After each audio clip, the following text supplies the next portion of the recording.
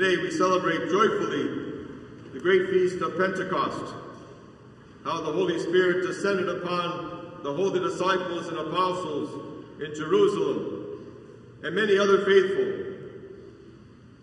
We heard from the book of Acts of the Holy Apostles how this occurred, how the disciples were moved to, to speak in various foreign tongues.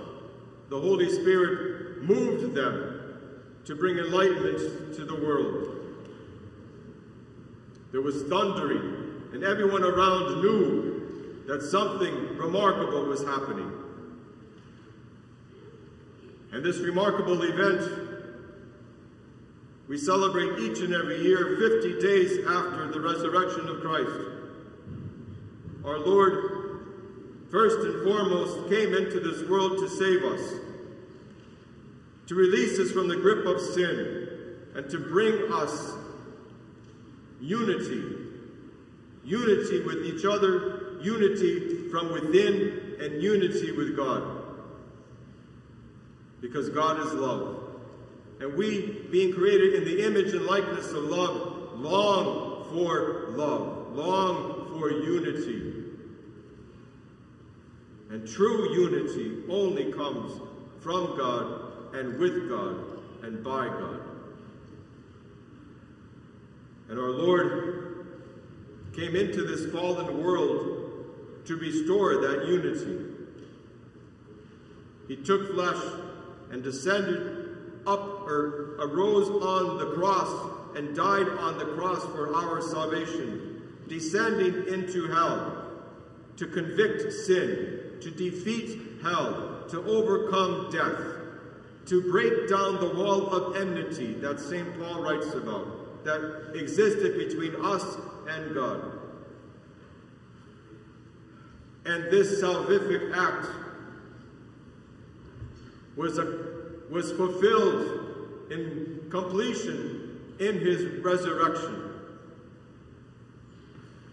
And for 40 days, our Lord, after his resurrection, still dwelt on earth and interacted with his disciples and apostles, appeared to many, and instructed them on what is to come. And he says, I go to prepare a place for you.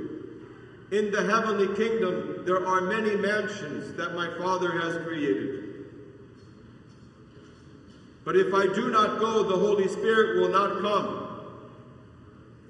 But if I go, then the Holy Spirit will come and fill all things, Jesus says.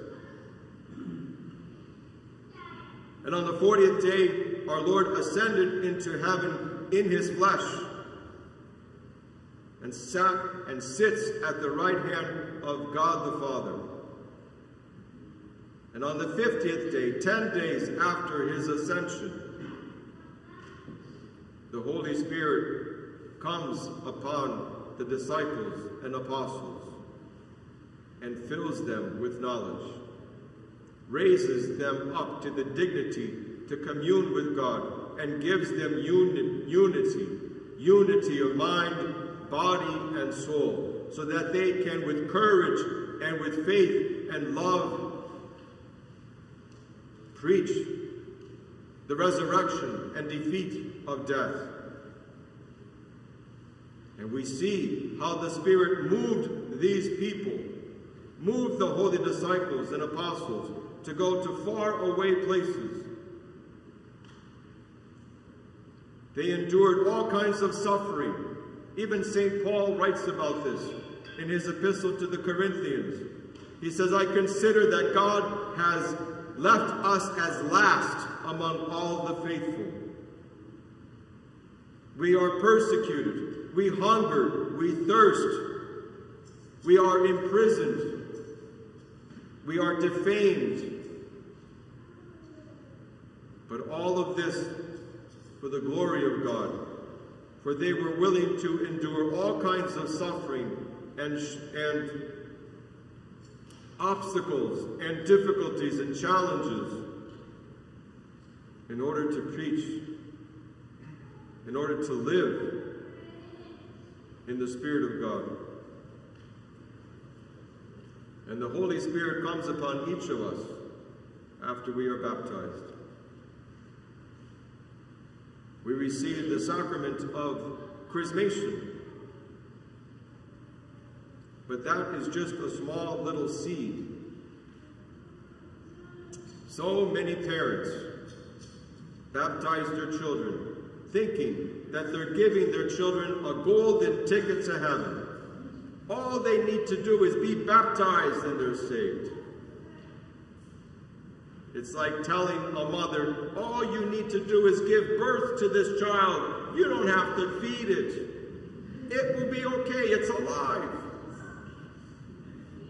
Ridiculous. Mothers are willing to die for their children, even well into adulthood. And they feed and nourish and support. And we, in the faith, have to nourish and feed and support even more so that our children grow in faith, so that the gift of the Holy Spirit, the gift of life of their soul, can grow and mature and bring forth many fruits.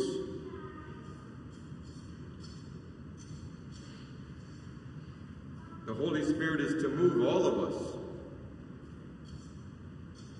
St.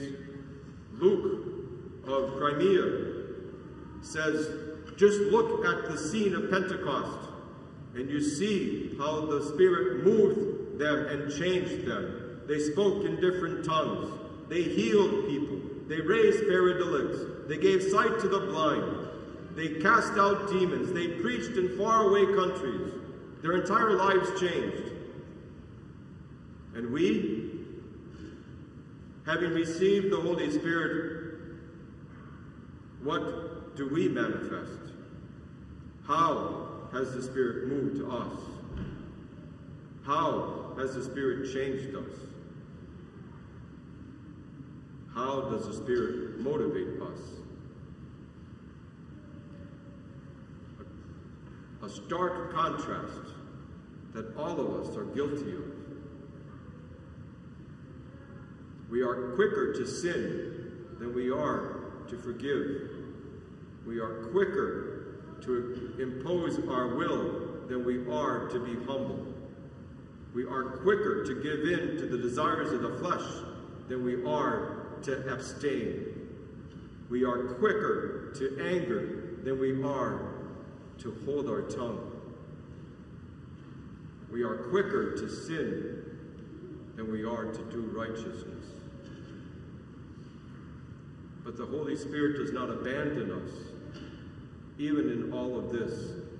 The Holy Spirit, we call upon Him every day when, our, when we begin our prayers. O Heavenly King, the Comforter, the Spirit of truth, who art everywhere present and fill us all things, treasury of blessings and giver of life, come and abide in us, and cleanse us from every impurity, and save our souls.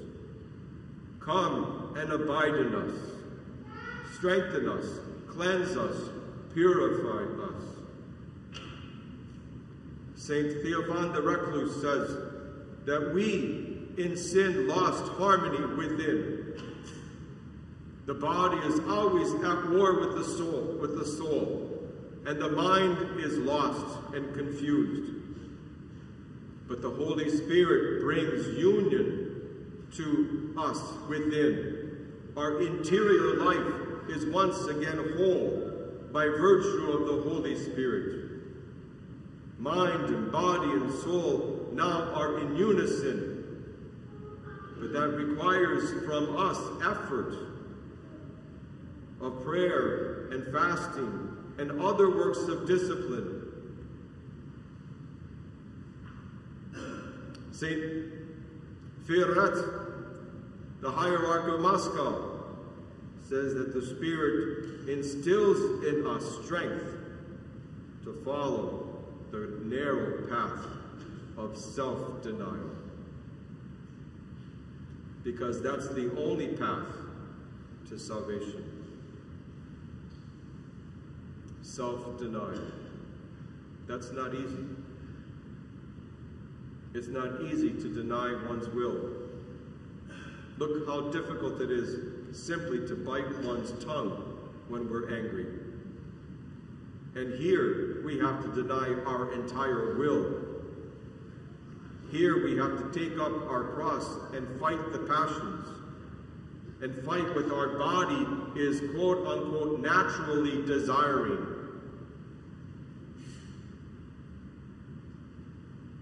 But it is only the path of self denial that we are saved.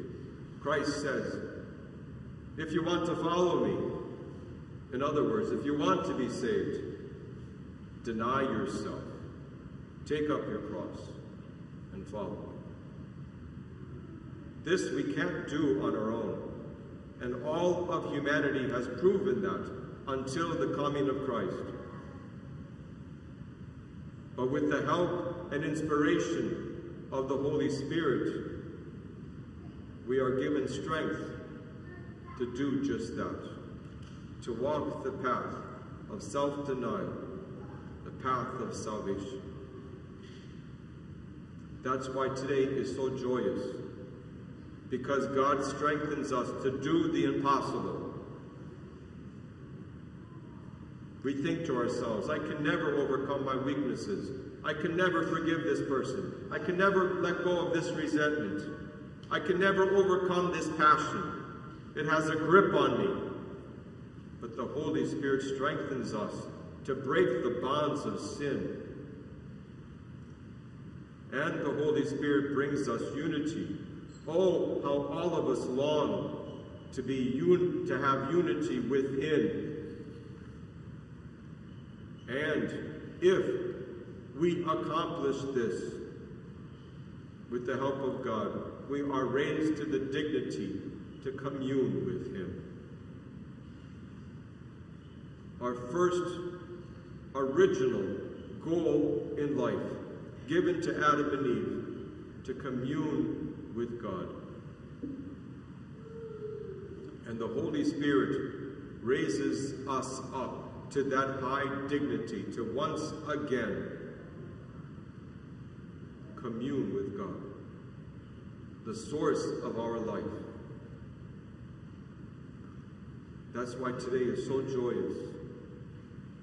And we decorate the church with all kinds of greenery to remind us that now we have new life.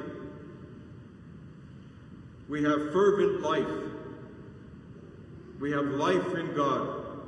And we will never be abandoned. Regardless of difficulties and trials and tribulations in this fallen world, we will always have strength from above. The Comforter, the Spirit of truth, enlightening us to avoid darkness and error, who is everywhere and filleth all things. O Holy Spirit, come and abide in us, and cleanse us from every impurity, and save our souls, O good one. Amen.